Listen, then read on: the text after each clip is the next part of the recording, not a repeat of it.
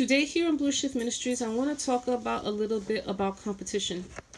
I'm just noticing out here when I hear other brothers and sisters preach the word of God, it almost as if they want to compete with each other and we as children of the most high, we cannot do this. We cannot say, well, hey, I quoted scripture better than you, or I quoted scripture better than this.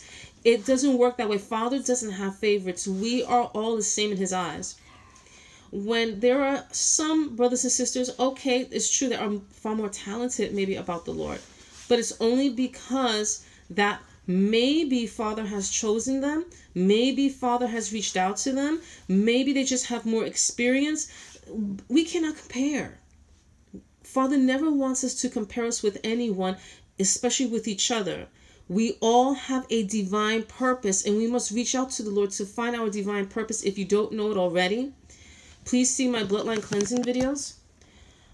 When you have a divine purpose with Father, each of us, remember, Father gives each of us precisely what we can carry, what we can handle, and what we can understand. I'm going to say that again. Father gives each of us precisely what we can carry, what we can handle, and what each of us can understand.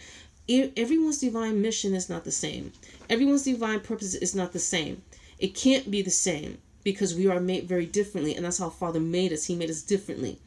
We all have a divine purpose. If we're going to be chewing each other out like cats and dogs and use sarcasm and be a smartest about the whole thing, that will really beat the purpose to Father's kingdom. Don't you dare be a smartass and be a heckler on here or on any brother or sister's platform.